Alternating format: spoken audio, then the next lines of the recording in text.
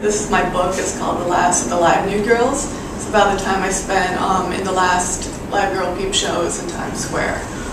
I'm going to show you my bag of tricks. This is what I would have with me um, every night at the peep show. This is one of my dresses that I wore. And I can tell you right now that red is more popular than black. Although I, I never, never really particularly enjoyed this dress, it seemed to be popular. This, less popular. I actually liked it more, but it's black, and that doesn't really always work. Something you have to have is a schoolgirl skirt. Um, sometimes that made me feel uncomfortable, but I, I wore it, so. These I thought were really cute, but no one would really like them. And because you're being picked out of a lineup of six or seven other girls, you know, if you're wearing the wrong thing, you're not going to make, make money, or I would have to go upstairs and change. Seemed completely arbitrary. This wig, not particularly going with my coloring, but it was a blonde wig, and it changed a lot for me. Um, when I started like wearing blonde wigs, especially this one, I started making a lot more. That was really popular. And everyone knew it was a wig. Like the guys would come in when I wasn't there and ask for the girl with the blonde wig. So it was completely ridiculous. But I think maybe they figure if they're going to be spending money um, on seeing a woman that it should be sort of the Barbie Playboy ideal of a woman, even if you're not, even if you're far from it. I mean, I think it's stupid. but you know, this I did not feel particularly sexy. Um, you know, it was kind of different, kind of fun, but it didn't make me feel better about myself or more feminine. That was a bit silly. Well, this is a um, bag where I kept my money, my cash, and you know, on a good night it would be full or it would be like folded down the bills would be folded down. Everything was in denominations of 20s or 10s usually. But like if you were counting your money in the dressing room and you had a couple hundreds in there like you're pretty cool. But it was also considered sort of rude to count your money in front of other people so i would go to the bathroom and count my money in the bathroom. It really depended like counting your money in front of other people was a little bit of a faux pas.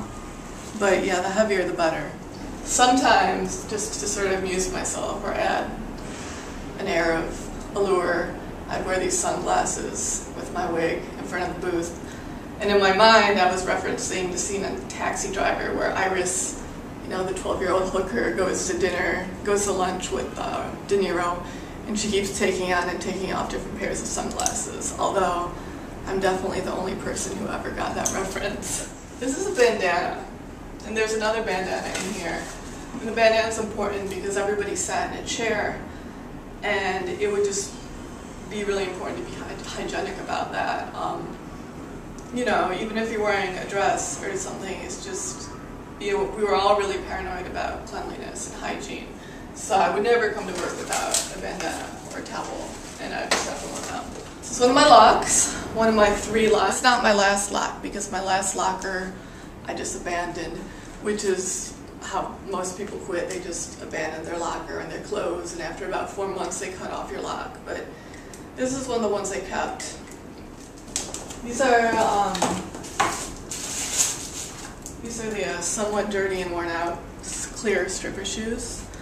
Um, the reason they're, they're important, and I would always try to wear different shoes I thought were better looking, but the reason they're important is the men who come into these sorts of places want to see your feet and your toes and your pedicure. Um, either they have a foot fetish or they just want to see that. So if your, your toes or your feet are covered up, it just doesn't do. And I always say it sort of makes your foot look, look like a Barbie foot. So maybe that's part of it. I wear heels. I, I love wearing heels, but you know, it's good to have a platform.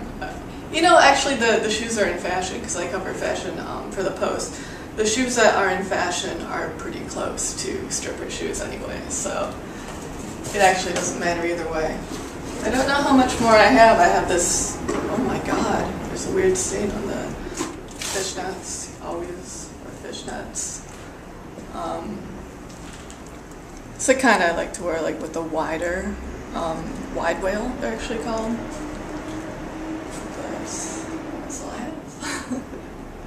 Some of the stuff is going in the trash as soon as like I get home. No matter how many times I've cleaned it, it all smells like the dressing room, which is cigarette smoke, Lysol, and microwave food, and like strippers really like like cocoa butter lotion, and I just I'm gonna throw the wig away first because I hate it.